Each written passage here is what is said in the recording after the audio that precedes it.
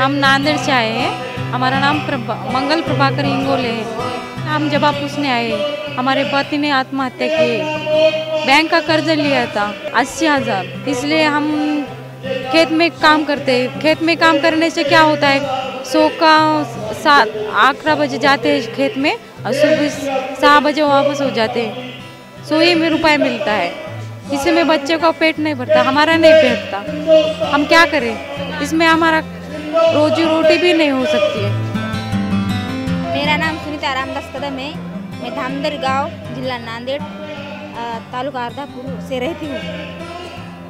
मेरे पति ने आत्महत्या की थी और मेरे दो बच्चे हैं। घर नहीं है, खेती नहीं है, खे मैं क्या खाऊँ कैसे लगूँ? शिक्षण पढ़ता है। हमारे बच्चों को अस्पताल हमेशा हमेशा रहता है।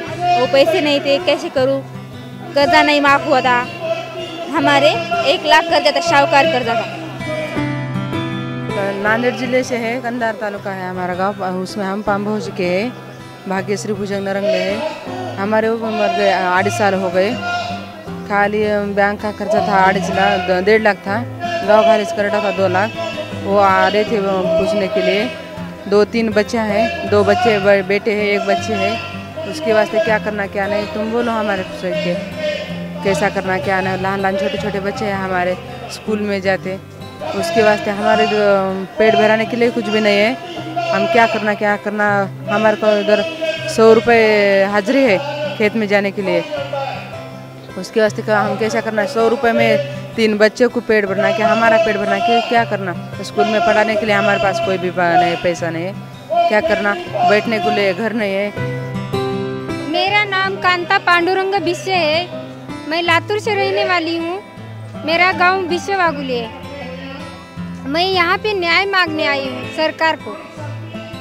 मैं सरकार को पूछती हूँ कि हुंडा बंदी कब होगी और ये गरीबी कब हटेगी और इस देश की गरीबी कब जाएगी। मेरा मेरा शेतकरी भाई जो है, उनका कर्ज कब मिटेगा? और कर्ज में डूबे हुए कब हम बाहर निकलेंगे? मेरा वादा है सरकार को कि कर्ज मिटा देना चाहिए। गरीब लोगों का निवाला जो है, उनके मुँह में जाना चाहिए। मुझे लगता है, चंद पैसों के लिए मेरी बेटी गई।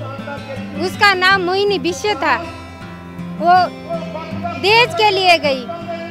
मेरे पास पैसे जो होते, मेरी बेटी की शादी कर पाती और उसको पति के घर में भेजती। कल दिल्ली जो आई तो मुझे लगा कि मेरी बेटी यहाँ पे शादी करके आई मुझे लगा। और मुझे